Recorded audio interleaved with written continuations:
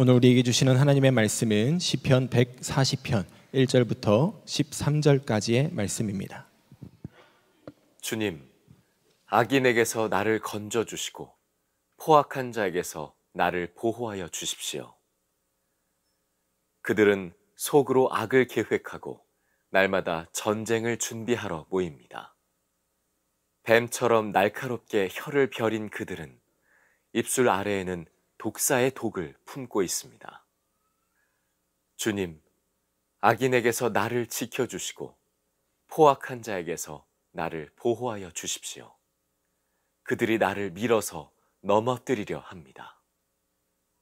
오만한 사람들이 나를 해치려고 몰래 덫과 올가미를 놓고 길목에는 그물을 치고 나를 빠뜨리려고 함정을 팠습니다. 그러나 나는 주님 께 아뢰기를 주님은 나의 하나님이십니다. 주님, 나의 애원하는 소리에 귀를 기울여 주십시오. 하고 말하였습니다. 내 구원의 힘이신 주 하나님, 전쟁을 하는 날에 주님께서 내 머리에 투구를 씌워 보호해 주셨습니다.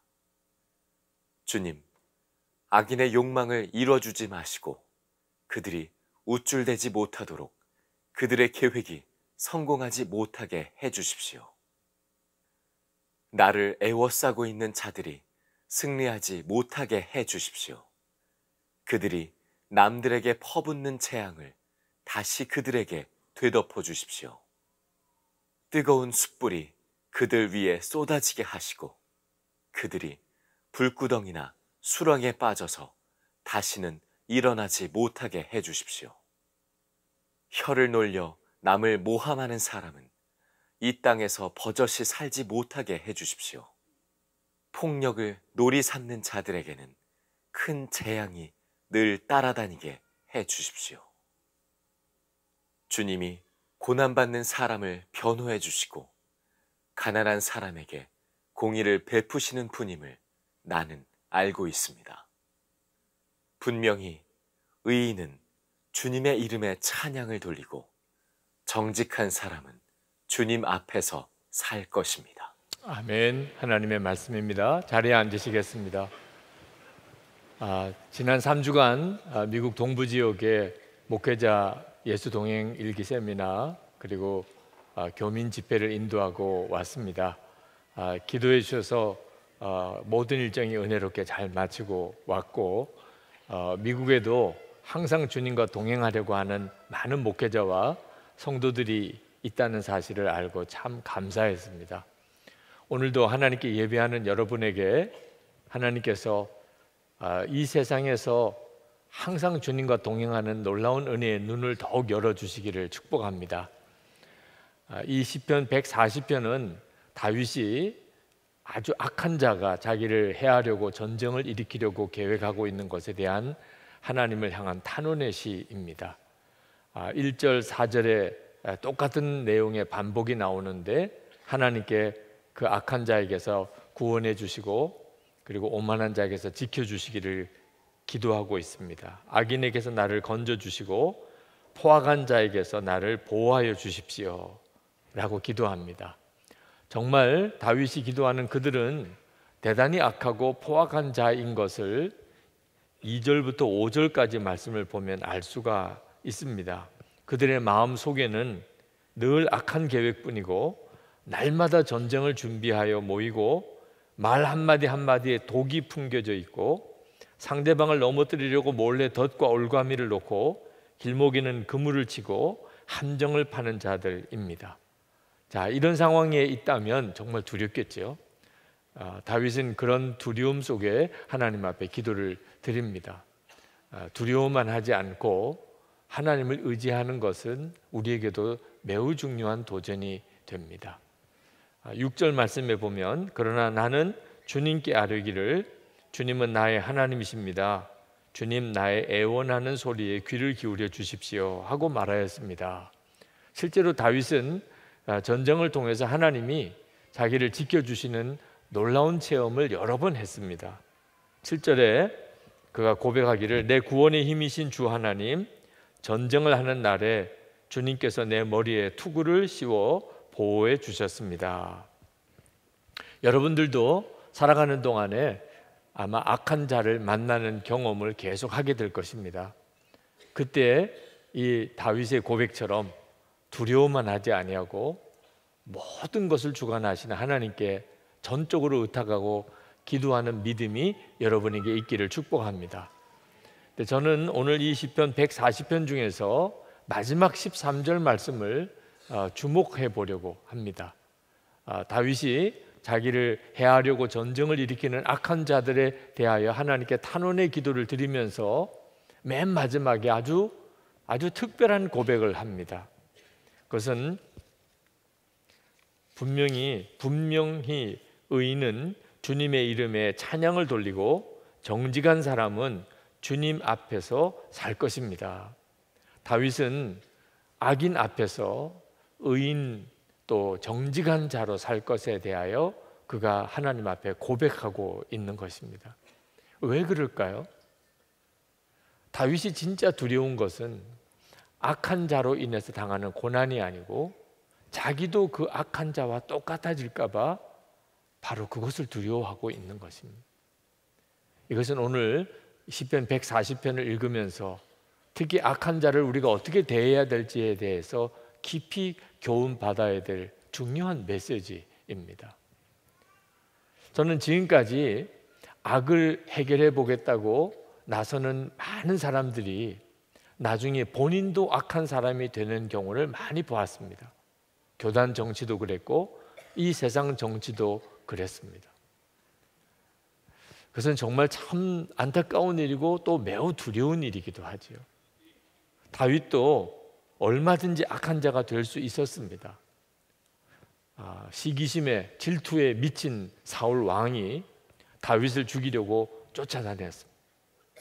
한 번은 다윗이 숨어 있는 굴에 사울 왕이 용변을 보려 들어왔습니다. 이제 사울 왕을 죽일 수 있는 절호의 기회가 온 거죠. 다윗은 그 사울 왕을 죽이지 않습니다. 하나님이 허락하심이 없다고 느꼈기 때문입니다. 자, 그래서 어, 사울이 이제 더 이상 다윗을 쫓아다니지 않게 된 겁니까? 정반대입니다. 사울은 더 다윗을 죽이려고 쫓아다녔습니다. 다윗이 이제는 격분할 만하지요. 이제는 더 이상 참을 수가 없어. 그럴 만도 하지 않습니까? 그런데 다윗이 사울을 죽일 수 있는 또 한 번의 기회가 왔습니다. 그런데 다윗은 사울을 죽이지 않습니다. 그냥 다윗을 살려줍니다. 왜 그렇게 했을까요? 다윗은 알았던 겁니다. 자기가 사울 왕과 같이 되어서는 안 된다는 것을. 그래서 그는 아, 사울 왕을 죽일 수 있는 그런 기회가 왔음에도 살려줍니다. 이것이 하나님의 마음에 들었던 것입니다. 그리고 다윗이 통일 이스라엘의 왕이 될 수 있는 그런 조건이 되었던 것입니다. 여러분 아, 다윗이 8장 8절에서 11절까지 하나님께 악한 자에게 재앙을 내려 주기를 간절히 기도했습니다. 악인의 욕망을 이루어 주지 마시고 우쭐대지 못하게 하시고 그들의 계획이 성공하지 못하게 해 주시고 승리하지 못하게 해 주시고 남들에게 퍼붓는 재앙을 그들에게 되덮어 주시고 뜨거운 숯불이 그들 위에 쏟아지고 불구덩이나 수렁에 빠져서 다시는 일어나지 못하게 해주시고 남을 모함하는 사람은 이 땅에서 버젓이 살지 못하게 해주시고 폭력을 놀이 삼는 자들에게는 큰 재앙을 내려 주십시오. 거의 저주 같은 기도를 퍼붓고 있습니다. 근데 다윗이 이렇게 기도하는 것은 그들이 다윗의 정적이거나 또는 개인적으로 다윗에게 적군이었기 때문이 아니었습니다. 그들이 진짜 악한 자였기 때문에 하나님께서 심판해 주시기를 구했던 것입니다. 여러분 지금 우리가 살고 있는 이 세상은 자기 편은 큰 죄도 눈을 감아주고 상대편은 작은 죄도 아주 크게 보는 그런 세상이지 않습니까? 이게 정말 두려운 일입니다. 악의 실상을 실체를 모르기 때문에 그렇게 하는 것입니다. 악을 품으면 악을 눈 감아주면 그 다음에는 패망밖에 없습니다. 만약 마지막 13절에 다윗이 자기가 의인과 정직한 자가 되게 해달라는 기도가 없었다면 아마 이 시편 140편의 내용은 그저 자기에게 개인적으로 상대편 또는 반대하는 사람, 자기를 대적하는 사람에 대한 저주에 불과했을 것입니다. 근데 다윗은 정말 악한 자를 하나님께서 심판해 주시기를 간절히 구했던 것입니다. 그것은 그가 그 악이 자기에게 있든지 또는 자기의 대적에게 있든지 상관없었습니다. 다윗이 정말 싫어했던 것은 악 그 자체였습니다. 제가 이전에 목회하던 교회에 큰 교회 싸움이 생겼습니다. 그날 저는 목회를 그만두고 싶을 그런 마음이 들었을 정도였습니다. 정말 밤에 한숨도 자지 못하고 어, 그렇게 많이 울었습니다. 근데 새벽 기도 시간 때 하나님께서 제 마음속에 불현듯 깨닫게 하시는 것이 있었습니다. 이것이 사람의 문제가 아니고 악한 영이 교회를 허물기 위해서 역사하는 것이라는 것입니다. 그러고 보니까 악한 영의 계획이 환히 이렇게 보이는 것 같았습니다. 요 다음 단계, 요 다음 단계는 어떻게 진행될 건가 하는 것이 예상이 되었습니다. 그때 하나님께 드렸던 기도가 하나님 제가 절대로 마귀가 원하는 대로는 하지 않겠습니다. 그렇게 기도드렸습니다. 그리고 그 다음 날 교인들이 저를 찾아왔습니다. 목사님 저희들은 목사님 편입니다. 목사님 절대로 여기서 약해지시면 안 됩니다. 목사님 그 사람들을 우리 교회에서 다 내쫓아야 됩니다. 그래야 우리 교회가 살 수 있습니다. 목사님 흔들리지 마세요. 목사님 우리가 있잖아요.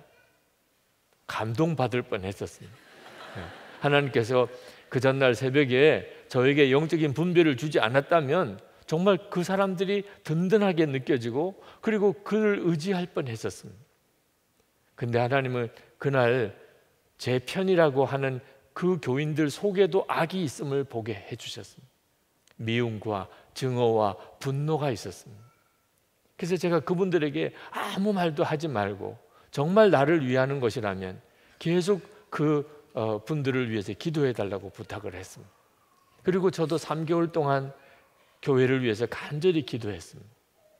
3개월이 지나고 난 다음에 교인들 사이에 서로 다툼이나 미움이 사라지는 것을 느꼈습니다. 그리고 난 다음에 장로님들과 함께 우리 교회가 어떻게 가야 될지에 대해서 회의하는 시간을 가졌습니다. 밤 늦은 시간까지 교회가 앞으로 나가야 될 일곱 가지 방향을 결정할 수가 있었습니다. 그리고 교회가 완전히 새롭게 부흥되게 되었습니다. 여러분, 내 편인가 상대편인가가 중요한 게 아닙니다. 이것이 악인가 아닌가가 중요한 거예요. 악한 자를 이기는 길이 무엇이겠습니까? 우리 자신이 의인이요 정직한 사람이 되는 것입니다. 악한 자로부터 말할 수 없는 핍박을 당하던 초대교회 교인, 들에게 베드로 사도가 베드로 후서에서 간곡히 권했습니다. 베드로 후서 3장 9절부터입니다. 주의 약속은 어떤 이에 더디다고 생각하는 것 같이 더딘 것이 아니라 오직 너희를 대하여 오래 참으사 아무도 멸망치 않고 다 회개하기에 이르기를 원하시느니라. 그러나 주의 날이 도적같이 오리니 그날에는 하늘이 큰 소리로 떠나가고 체질이 뜨거운 불에 풀어지고 땅과 그 중에 있는 모든 일이 드러나리로다. 너희가 어떠한 사람이 되어야 마땅하뇨? 거룩한 행실과 경건함으로 하나님의 날이 임하기를 바라보고 간절히 사모하라. 그러므로 사랑하는 자들아 너희가 이것을 바라보나니 주 앞에서 점도 없고 흠도 없이 평강 가운데서 나타나기를 힘쓰라. 이것이 악한 세상을 사는 성도에게 주시는 주님의 권면입니다. 여러분이 악한 사람들을 만났습니까? 그러면 정신 똑바로 차려야 합니다. 어떻게 해야 그 악한 자를 이길 수 있습니까? 우리 자신이 거룩하고 의롭고 정직한 자가 되는 것입니다. 그러려면 우리는 악한 자를 주목할 것이 아니고 주님을 바라보아야 됩니다. 우리가 바라보는 것에 의하여 우리의 마음이 빼앗기게 되기 때문에 그렇습니다. 악한 자를 주목하니까 우리 마음도 메말라지고 우리의 말과 생각과 행동이 거칠어지게 되는 것입니다. 어떤 분은 그렇게 말합니다. 나는 괜찮은 사람인데 환경 때문에 내가 이렇게 악해졌노라고. 여러분, 절대로 그것은 옳은 이야기가 아닙니다. 성경적인 이야기도 아닙니다. 우리는 분명히 환경에 영향을 받는 사람입니다. 그런데 무엇이 우리의 환경입니까? 우리가 만나는 악한 사람이 우리의 환경입니까? 우리 안에 거하시는 예수 그리스도가 우리의 환경입니까? 여러분 한번 대답해 보시기 바랍니다. 무엇이 지금 여러분에게 가장 놀라운 환경입니까? 우리 안에 거하시는 예수 그리스도이십니다. 우리가 예수 그리스도를 주목하지 않으면 우리는 우리 자신도 모르는 사이에 악한 자를 닮아가게 되어 버립니다. 이번에 미국에 갔더니 다들 한국이 어떻게 될 거냐고 한국에 대한 걱정을 하는 것을 들었습니다. 교민들이 보기에 지금 우리나라는 대단히 여러 가지 어려운 문제, 걱정거리가 많은 것처럼 보이는 것 같습니다. 저도 우리나라에 대해서 걱정이 참 많이 있습니다. 제가 미국을 출국하는 9월 4일 밤에 제가 아주 참 무서운 꿈을 꾸었습니다. 우리나라가 예수 그리스도를 믿는 성도들을 무지하게 핍박하는 그런 환경이 되었습니다. 그래서 정말 말할 수 없는 어떤 고초를 겪고 끔찍한 일들을 경험하면서 소스라치게 놀라서 깨어보니까 밤 2시 반이었습니다. 내가 왜 이런 꿈을 꾸는지 정말 나라와 민족을 위해서 기도해야 되겠다 싶은 생각이 들어서 거실로 나와서 한참을 기도했습니다. 제 마음속에는 뭐라고 설명할 수 없는 두려움이 있었습니다. 그때 그날 묵상할 시편이 시편 36편이었습니다. 1절 말씀이 딱 제 마음에 걸렸습니다.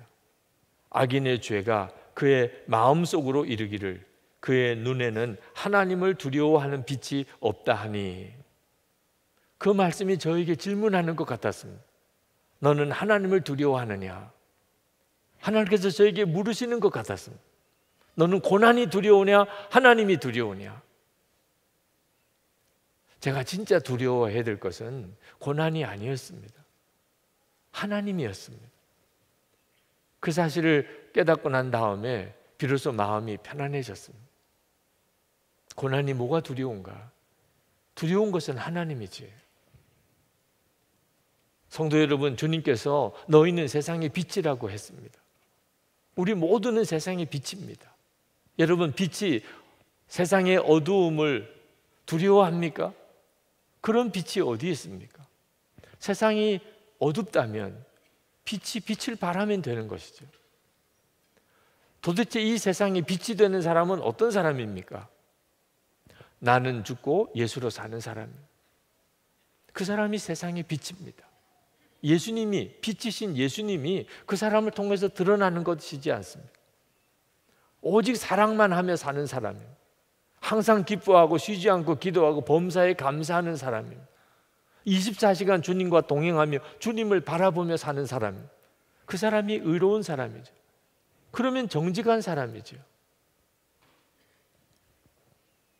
여러분 세상이 악하다고 말하지만 그래서 우리 예수 믿는 성도들에게 사명이 있는 것입니다. 우리가 빛으로 사는 거죠. 여러분 악한 자를 이기려면 고난이 축복임을 믿을 수 있어야 합니다. 이번에 미국에 가서 교민 집회를 하고 목회자 세미나를 했는데 그때 나눈 내용은 우리가 늘 나누는 내용입니다. 우리 마음에 예수 그리스도가 계시고 우리가 그 주님을 항상 바라보기 위해서 매일 일기를 쓰면서 주님과 동행하고 그리고 성도들끼리 마음을 열고 그렇게 지내자고 그렇게 도전했습니다. 그 말씀을 듣고 많은 분들이 충격을 받는 것 같았습니다. 근데 어느 장로님께서 그 제 설교를 듣고 어떤 교인들이 대단히 두려워한다는 것을 저에게 전해 주었습니다. 무엇이 두려워하는 것입니까? 주님과 그렇게 친밀히 동행하다 보면 그러면 고난의 길을 가게 되지 않을까 하는 것이 두려웠다는 것입니다. 주님이 너는 이제 고난의 길을 가라. 그러면 어떻게 하냐는 거죠. 혹시 여러분 중에도 그런 걱정하시는 분들이 있으실 것입니다. 주님과 동행하고 항상 주님 안에 살고 나는 죽고 예수로 살고 그러면 주님께서 나를 아주 어려운 길로 고난의 길로 나를 인도하지 않을까. 그래서 주님과 동행하는 것에 대해서 아주 주저하는 분들이 있으실 겁니다.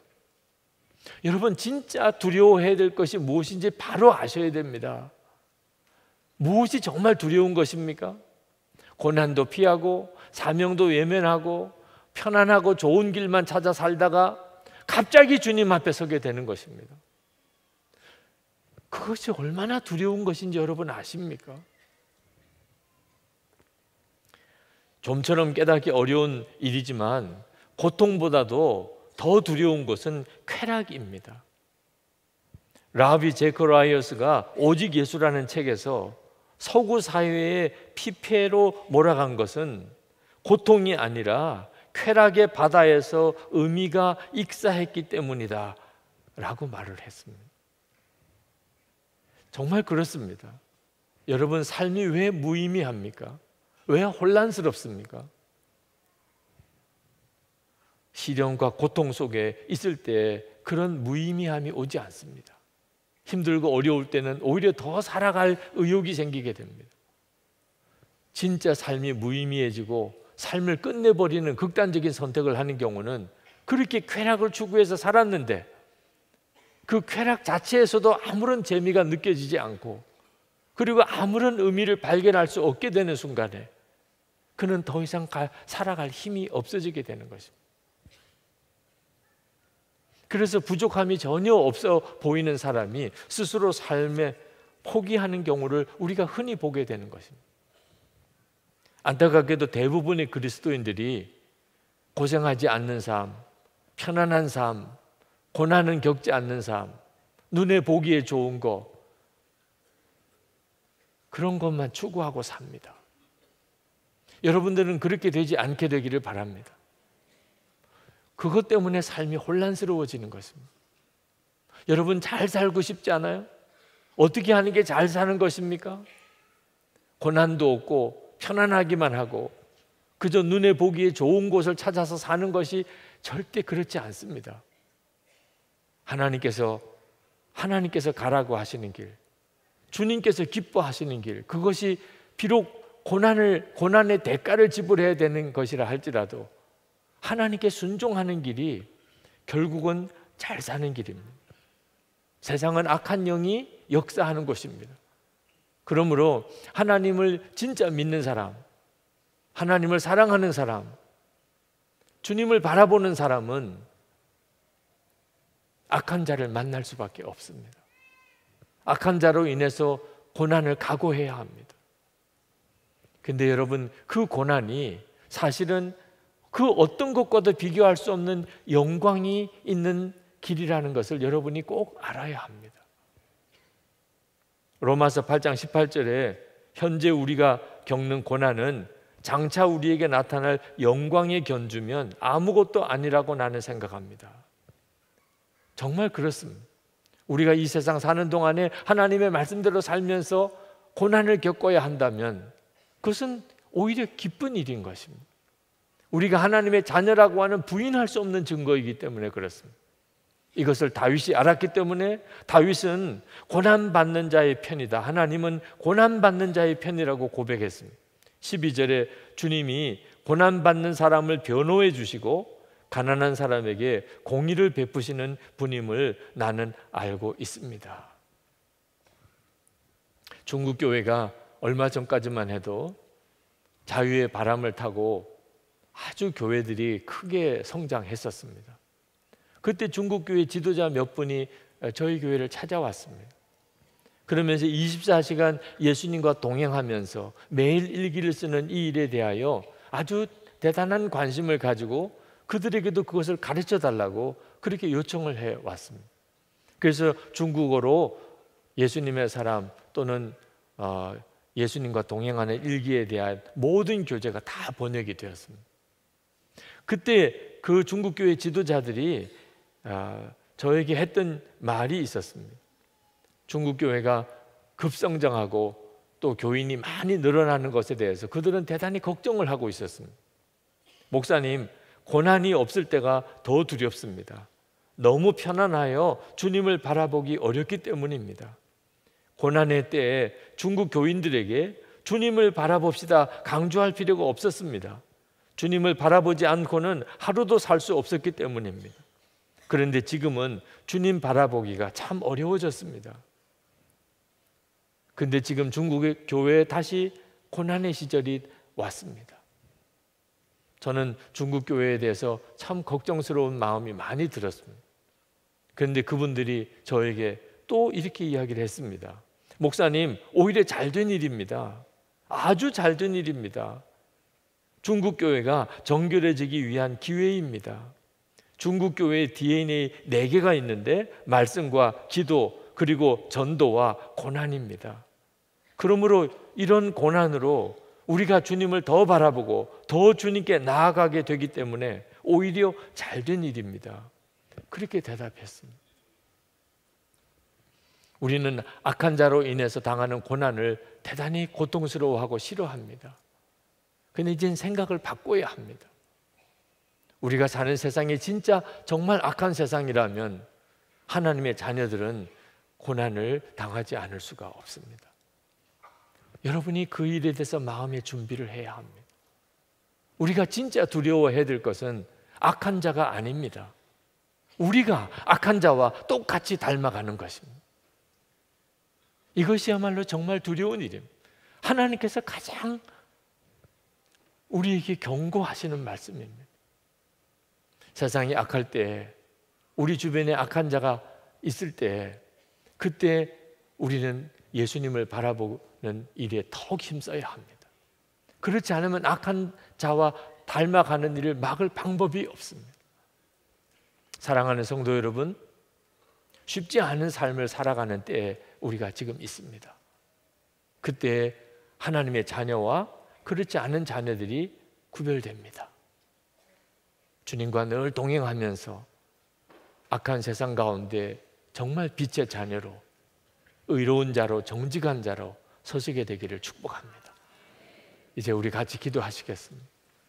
여러분, 여러분의 삶 속에서 힘들고 어려운 문제들이 부딪혀 올 때 여러분 마음으로 하나님께 간절히 기도하시기 바랍니다. 악한 자의 문제는 하나님께 맡기시기 바랍니다. 여러분 자신이 의로운 자요 정직한 자로 설 수 있게 되기를 기도하시기 바랍니다. 오직 주 예수님만 주목해 보시기를 바랍니다.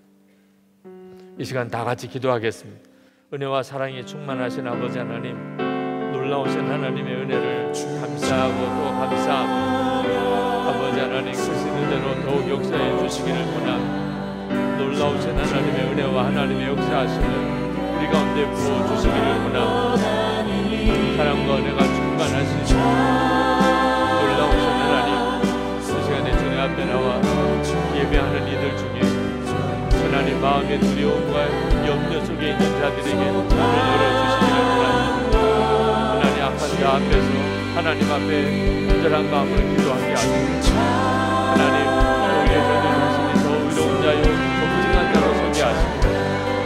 위해서 더욱 주 예수님을 바라보게 하여 주시기를 원합니다.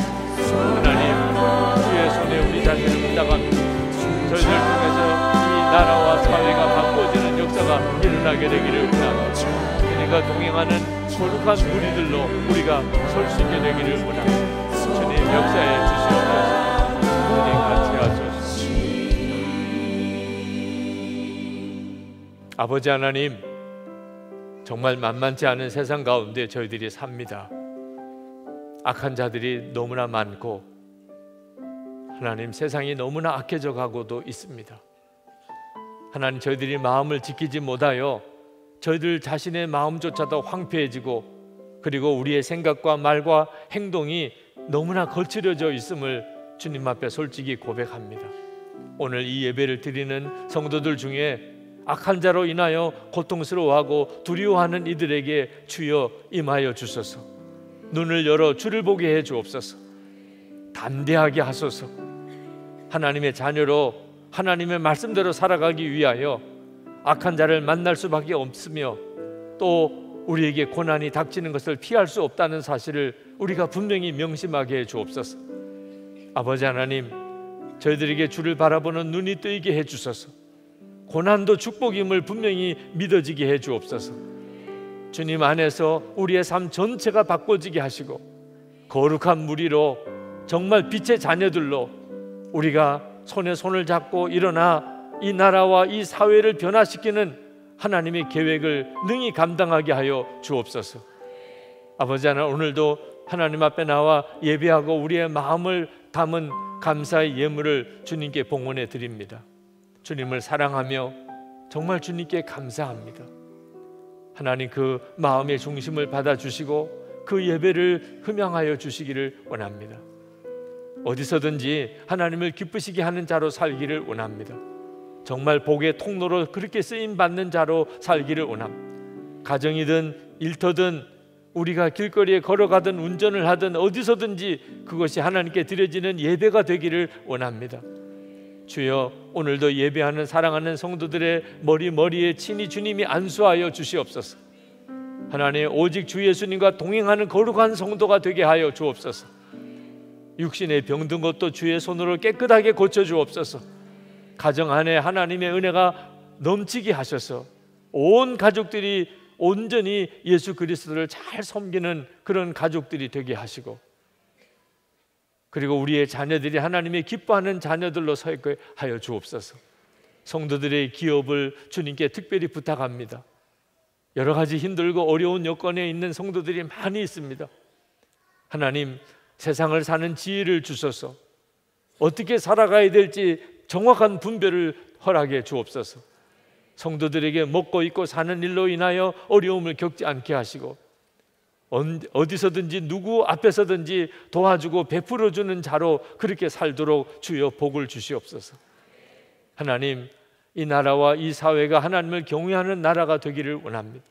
그 일을 위해 성도들과 교회가 거룩하고 정결하게 일어나게 되기를 원합니다. 하나님, 북한 땅을 위해서 하나님 앞에 간절히 기도합니다. 북한 주민들이 자유를 얻고 복음을 들을 수 있게 역사해 주옵소서. 이 한반도의 전쟁이 그치고 그리고 하나님께서 영광을 받으시는 십자가의 은혜로 서로 회개하고 용서하고 사랑하는 역사가 하나님 남북한 사이에 이루어지게 해 주옵소서. 김국기 목사님, 김정훈 목사님, 최충길 선교사님을 속기 석방시켜 주소서. 열방에 나가 있는 선교사님들, 특히 핍박당하는 교회와 그 교회 성도들을 하나님의 손에 부탁합니다. 낙심하지 않고 두려워하지 아니하고 여전히 우리와 함께 계시고 만유를 주장하시는 주님을 온전히 주목하고 주 안에서 승리하게 하여 주옵소서. 우리 주 예수 그리스도 이름으로 간절히 기도합나이다. 아멘.